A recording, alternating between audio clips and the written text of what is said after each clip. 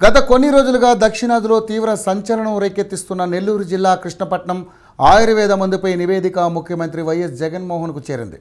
Corona కట్టడికి ఆనందయ్య తయారు చేస్తున్న ఆయుర్వేద మందు బాగా పనిచేస్తుందనే ప్రచారం పెద్ద ఎత్తున జరగడంతో కృష్ణపట్నానికి ఎక్కడెక్కడి నుంచో జనం క్యూ కట్టారు.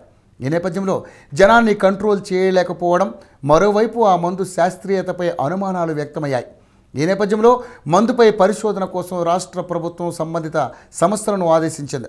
ఈ నేపథ్యంలో ఆనందయ్య తయారు చేసిన మందుపై రాష్ట్ర ఆయుష్ విభాగం పరిశోధన చేసింది.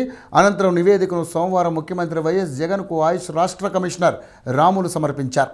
అనంతరం రాములు మీడియాతో మాట్లాడుతూ ఆనందయ్య మందు ద్వారా ఎలాంటి ప్రమాదం లేదని తేల్చి చెప్పారు.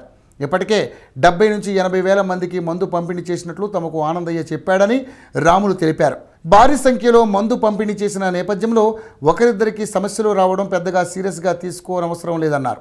పూర్తి నివేదిక వచ్చిన తర్వాత ప్రజలకు పంపిణీ చేయవచ్చన్నారు. మూడు నాలుగు రోజుల తర్వాత సీసీఆర్ఏఎస్ నివేదిక వచ్చిన తర్వాత మందు పంపిణీపై ప్రభుత్వం నిర్ణయం తీసుకుంటుందని ఆయన స్పష్టం చేశారు. ఆయుష్ రాష్ట్ర కమిషనర్ మాటలను బట్టి ఆనందయ్య మందు కోసం గరిష్టంగా ఒక వారం ఎదురు చూడక తప్పదు.